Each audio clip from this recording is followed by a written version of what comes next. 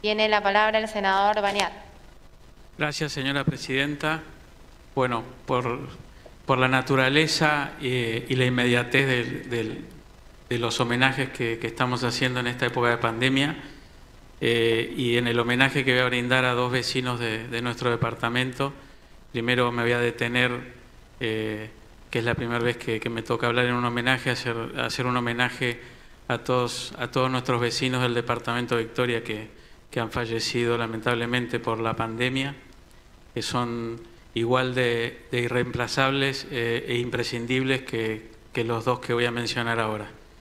El primero de ellos es nuestro querido Sergio Retamal, locutor, eh, periodista, animador, un 4x4, un todoterreno de, de, de nuestra ciudad que, que se inició en, la radio y que hizo de, de LT39 su familia, que lamentablemente lo, lo hemos perdido hace pocos días y, y- es, es irreemplazable.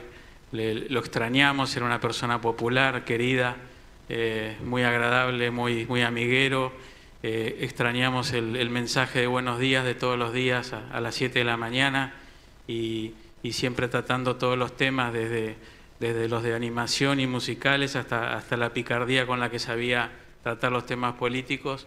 La verdad que, es una gran pérdida que toda la sociedad ha sentido.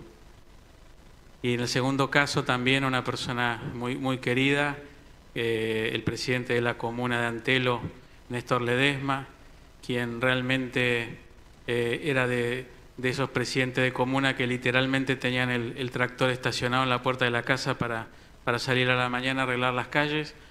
Una persona que entendió rápidamente y con una claridad eh, realmente genial eh, desde el primer momento el trabajo articulado entre el Senado, eh, la, la gobernación para gestionar para su comuna, no perdió tiempo y en un año y medio logró gestionar grandes proyectos para la comuna que, que la van a cambiar para siempre.